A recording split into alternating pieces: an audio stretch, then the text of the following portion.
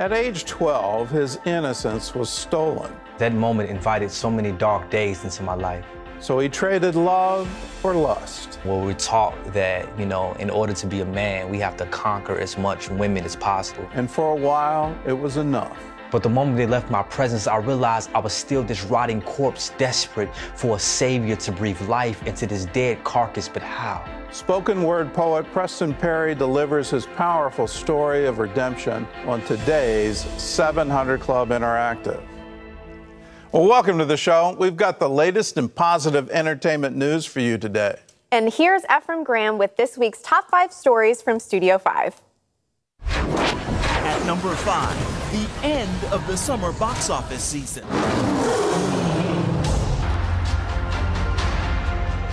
Everything you see exists together in a delicate balance. The Lion King is the summer's top earner with $523.4 million domestically.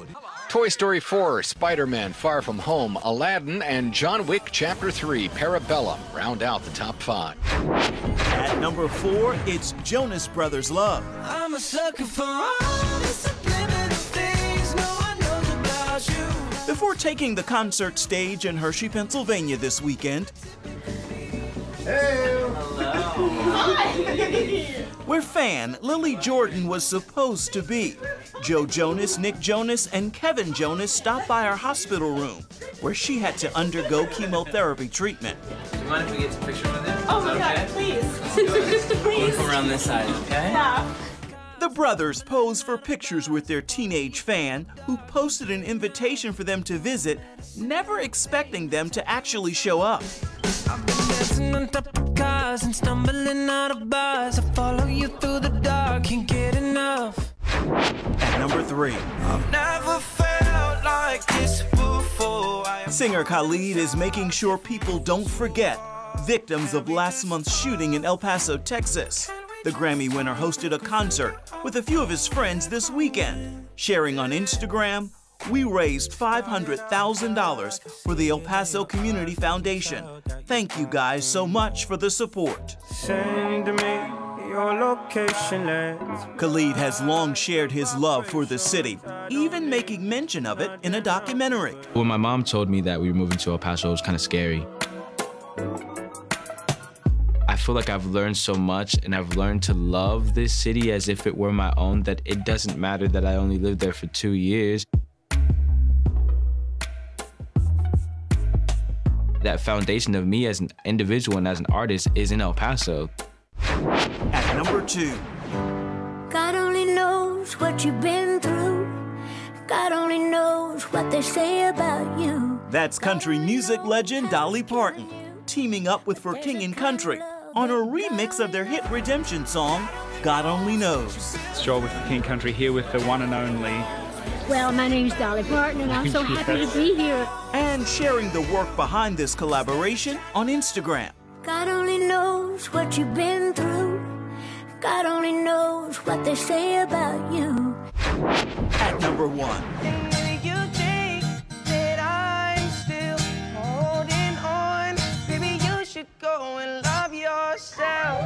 an open letter from Justin Bieber to his 118 million followers on Instagram. He writes, Hope you find time to read this. It's from my heart. Let's end each other's lonely nights. Be each other's paradise. He goes on to say, By 20, I made every bad decision you could have thought of and went from the most loved and adored to the most ridiculed, judged, and hated. It's taken me years to bounce back from all of these terrible decisions, fix broken relationships, and change habits. Now I'm navigating the best season of my life, marriage, where you learn patience, trust, commitment, kindness, humility, and all of the things it looks like to be a good man. All this to say, even when the odds are against you, keep fighting. Jesus loves you. Be kind today, be bold today, and love people today, not by your standards, but by God's perfect, unfailing love. Well, so what do you think of Justin coming out on Instagram to say, here's, here's what I went through?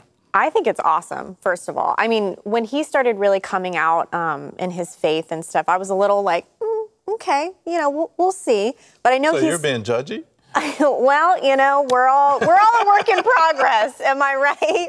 But no, I was. But I then I started. You know, he started to post more about the love of Jesus and how Jesus has helped him through the, his darkest days. And I know he's also really connected to some really great pastors like Rich Wilkerson Jr., Chad Veach, um, Carl Lentz. So I think it's just a perfect story of redemption. Like it really just speaks to the truth of who God is, who he makes beautiful things out of ashes. So I love it. Yeah, one of the untold stories of Justin, he was raised in church. Yeah. mhm. Uh, single mom, Yeah. um, desperately poor.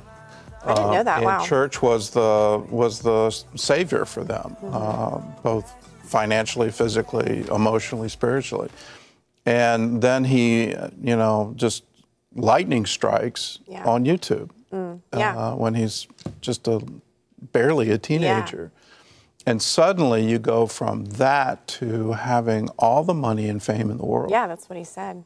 And what what does human nature do Yeah. when you have unlimited choices and there's really no one around to tell you no? Because everybody around you is dependent on you for their salary or Yeah. whatever. Yeah. Um, and they, they feel that, you know, the closer they get to you, the, it, it's their own self importance. So you, you, you get into that environment, and, and it's an old story, and we've seen it again and again and again, and it's Yeah. throughout human history that that kind of absolute power will absolutely corrupt you. What is amazing to me is that he's come back. Yeah. And he's come back to faith and he's come back to his roots. Yeah. And he's humble enough to say, here's, here's what happened, Yeah. but here, it, here is my path back. Uh, and I hope it leads other people to say, well, let's take a real hard look at this. Yeah, exactly. That's what I love is that God is using, he's using several pop culture stars, phenomenons to, you know, preach the gospel, which I think is awesome. Yay. Yay. Okay. Yay. Let's talk about Khalid. Yes. $500,000 for the victims of El Paso, which is an amazing thing. And I have to confess, I'm old, so I have no idea who he is. But you He's a good he's it. a good artist. You yeah, there's a couple of good songs, Yeah. you know. But I think yeah, it's really cool that he did that. I didn't even know he was from El Paso, El Paso and lived there.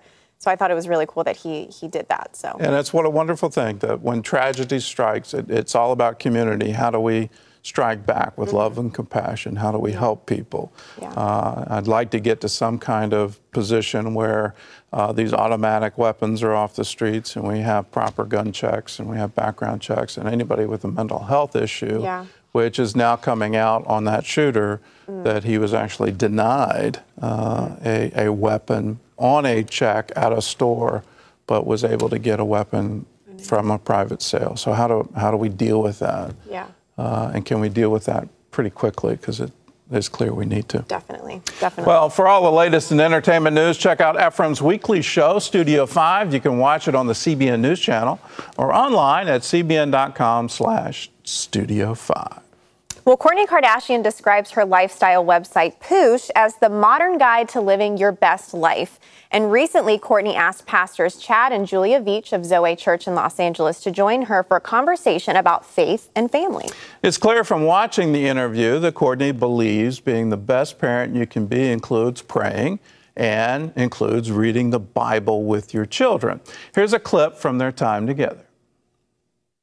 One of my one of my favorite scriptures about kids though Hmm. is in Proverbs when it says, "Raise up a child or train up a child in the way that they should go, and when they're older, they won't depart from it."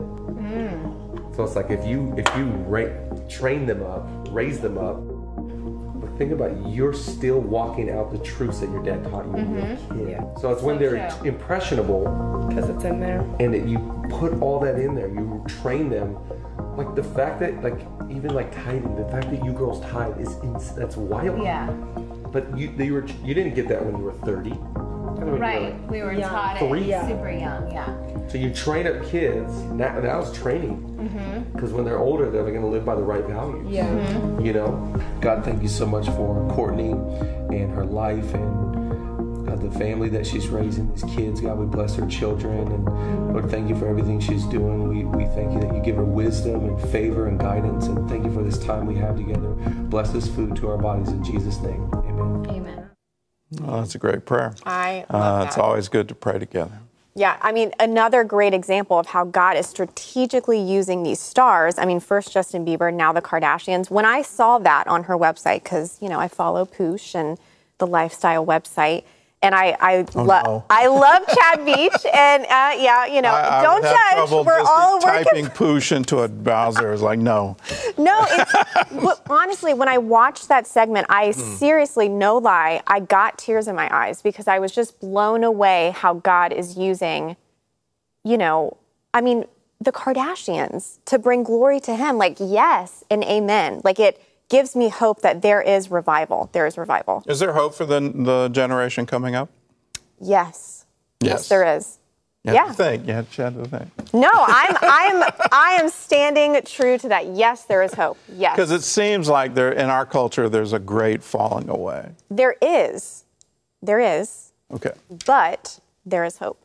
There is hope. I have to stay. Yeah, I, ha- I have to. Yes, there is. hope. There's always hope. There's always hope. We have to stay true to the the reason there's always hope is there always there's always Jesus. Amen. So Amen. There's always hope. Mm -hmm. Well, Grammy Award-winning artist uh, Lecrae spoke at VOUS Church in Miami recently, delivering a powerful message called "Surviving Life's Storms and Deserts." In his message, Lecrae wanted to illustrate that God can help us even when we're experiencing intense emotional turmoil. So he told the following story. Take a look.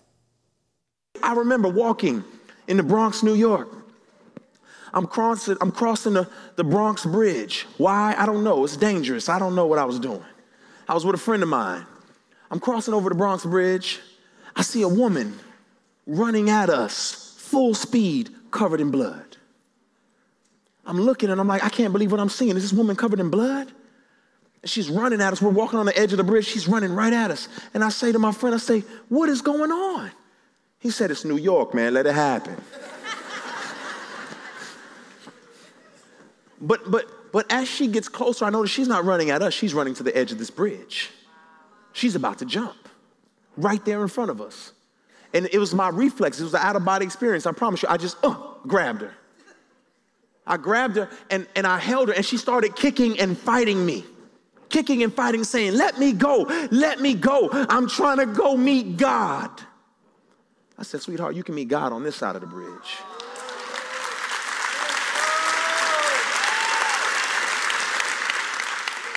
You can meet God on this side of the bridge. See, see, she was distressed. She was distraught. She was at the end of her rope. And guess what? But, but she didn't know something. And this is what we all need to know. She woke up that morning. If you woke up this morning, that means God is not done with you yet.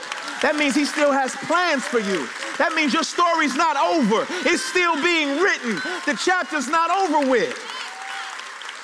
She needed to know that this is not the time to throw in the towel. This is not the time to give up. It's the time to trust God more.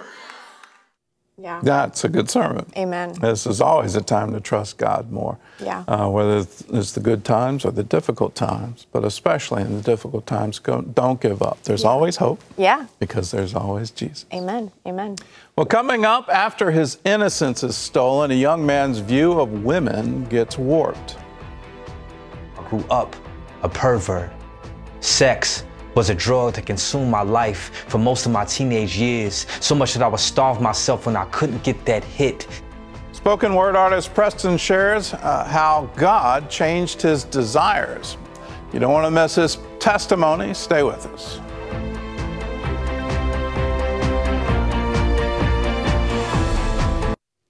Preston Perry was raised in a hyper masculine culture where, in order to become a man, he had to conquer as many women as possible. Sex became his addiction. But no matter how many encounters he had, he still felt empty and insecure. And at the age of 19, something happened that would change it all. Watch spoken word artist Preston Perry deliver his powerful story of redemption. I've been a victim of temptation and a prisoner of sin. For years, I was a slave to lust. January 1997 is when my story begins. 12 is the age I had my first sexual encounter. And I remember it like the sea remembers the storm, or like the sky remembers the night, because that moment invited so many dark days into my life. My grandmother's foster child was a couple of years older than I was. I was 12, she was around 14, 15. And um, yeah, even though she was still young, she was very mature for her age because of a lot of the things that she went through in her life. She was a child herself, a 14 year old foster girl who got raped out of her childhood. I remember how my pride and my lust rose up for the first time and met each other. My lust told me that this was my chance to see what sex felt like, but my pride wouldn't let me tell her that I didn't know what I was doing, so I let her have her way with me. In that bathroom, she taught me things a woman only supposed to teach a man inside the four walls of marriage. But the problem was we wasn't married, we were children. My heart young and thirsty for affection thought this lust was love, the way her hands caressed my immature body as if I were valuable. I grew up in, you know, urban community where uh, super hyper masculine culture is just so prominent, uh, where we're taught that, you know, in order to be a man, we have to conquer as much women as possible. That first experience let me know, like, that I'm a man, you know, that that I'm that, that I'm accepted by my culture, um, but also secretly it it it does some, it did something for my deep insecurity. It, it did it did something for uh, who, who I thought I needed to be as a person. It made me feel wanted. It made me feel like somebody finally sees me. But what I didn't know is those same hands planted seeds of perversion that would take root and eventually grow out of control. So I grew up a pervert. Sex was a drug that consumed my life for most of my teenage years, so much that I would starve myself when I couldn't get that hit. See, this addiction wasn't cocaine, but the symptoms were similar. But deep down inside, my soul knew that it deserved God's wrath for this junkie type lust. Didn't believe Christ can fix me, so sex became my fix. So when I was like 16 years old, I heard the gospel uh, for the first time in a house church in Atlanta, Georgia. Um, this was the first time that I heard that God actually had beef, a problem with my lifestyle, and that I needed to repent. At that time, that's when the Lord began to pursue me. Kind of just resisted Him because I didn't want Him. I wanted to live the life that I was living, the fast life that I was living distraught at the fact no matter how many times I tried, sex could never seem to complete me. But the touch of a woman would spark this fire inside of my flesh, causing my bones to feel alive. But the moment they left my presence, I realized I was still this rotting corpse, desperate for a savior to breathe life into this dead carcass. But how? How do you apologize to the living God when you have slept with the dead hundreds of times? But it wasn't until I was um, 19 where uh, a friend of mine was shot um, right outside my house. And um, at that time, my mom, she was trying to revive him, and my sister was trying to help him. And one of my friends told me to pray for him. And when he told me to pray for him, I said to myself, if I pray for him at this moment, I know God would not hear me because of my lifestyle. How do you muster up the courage to look grace in the face and say, hey, remember me? Um, and I needed to know him. I needed to come um, into the acknowledgement of who Jesus Christ was because if I didn't, um, this would be me, not just physically, but spiritually. Um, so God used that um, situation to draw me back to Chicago, where I grew up at. At that time, it was a guy named Gary who I knew of growing up, who was a former gang member, former drug dealer. And when I came back, God had radically changed his life. I mean, this dude went from the streets uh, from selling drugs and doing all kind of stuff, from um, being a Moody Bible Institute student. And he took me under his wing and he mentored me and discipled me for three and a half years. And through his life, I saw the weight of my sin. And I remember one day in my room, I cried out to God and I said, God, I want to love you like Gary loves you. Um, and at that time, I didn't know that's what repentance was. You know, I didn't even have words for it. But that's what I did. I repented. And, and, and that day, I felt God save me right there in my room. And that's when I gave my life to the Lord. And his presence rushed my room like the Chicago breeze on a summer night and cuddled with my heart better than any lover ever did. And he said, Preston, heaven has been waiting to hear your cries since the foundations of the earth. And even though your heart spent most of its life cheating on me with the dead, I am love that has come to bring you life more abundantly. My grace is of forgiveness that would drown every one night stand you ever had. And if you would just walk with me, I will show you that I am the author of romance. My word is the most beautiful love novel you will ever read. No woman can touch you like I can. And instantly, my heart burst into a million blood colored rose petals, and my promiscuous lifestyle was transformed into a honeymoon with Christ.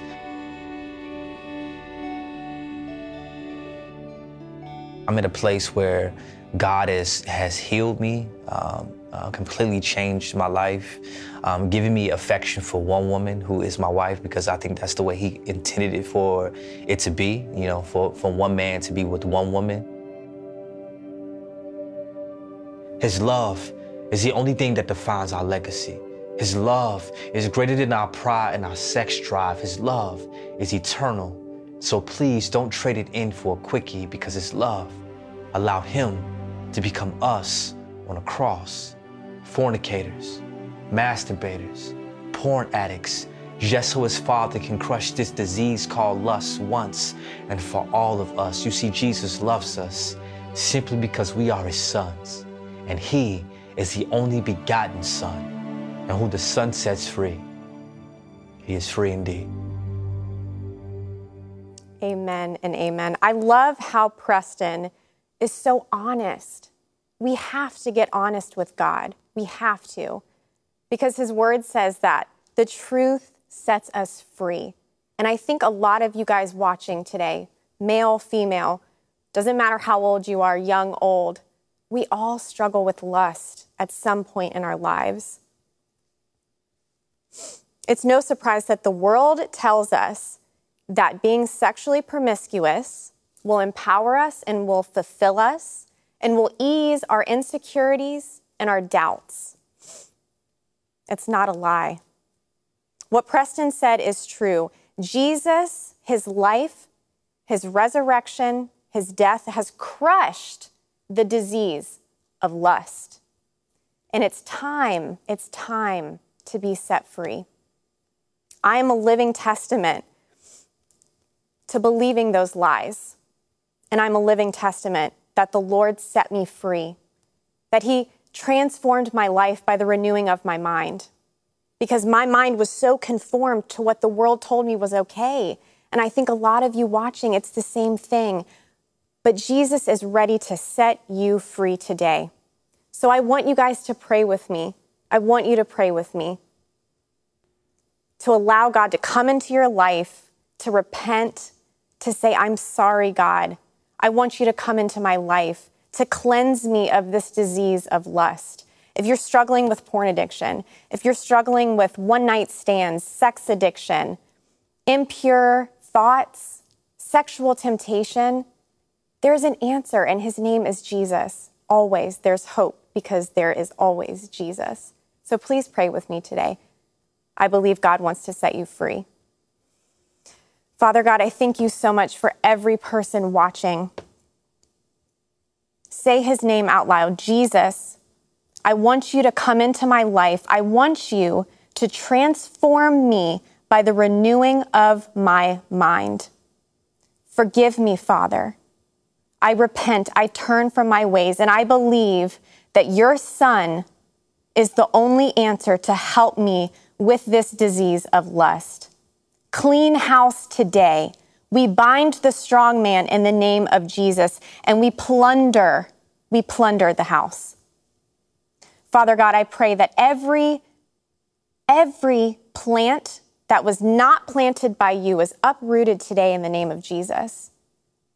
We pray for transformation. We pray for renewal, Lord, and we ask that your love transforms us, transforms our minds, our thoughts, heals us emotionally, heals us spiritually, and that we walk in the fullness of abundant life that you have for us. We take back any territory that has been stolen from the enemy in the name of Jesus.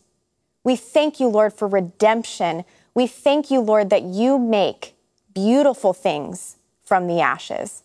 Thank you, Father, for who you are. Thank you for each person listening to the sound of my voice. And we pray this and we ask it in your holy and precious name. If you guys prayed with me and, and you want to start a new life with Christ and you've decided to do that, please give us a call at 1 800 700 7000. There is hope. There is hope, and you are not alone in this. Gordon? Well, still ahead, a little girl and her family walks hours every day to get water. Dirty water that makes their family sick. Now, thanks to partners like you, this family and their entire village has clean water. See how you made a difference after this.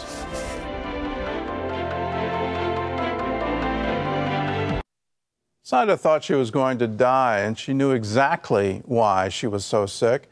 The day before, she drank water from a dirty pond filled with dead animals. Saida and her mom have come to depend on this small collecting pond at the end of the path. It's far from their home in the mountains of Honduras. We walked more than one hour each way to get just a few gallons of water. Then we had to do it again later in the day. The water is dirty and filled with E. coli and other bacteria. We have to drink the dirty water because there was no other water near us. One day, Saida and her mom found a possum that had died in the water. When I saw it, I said, Mom, you have to get it out of the water. Even though I took it out, I didn't feel comfortable collecting any water that day. We knew it was already contaminated.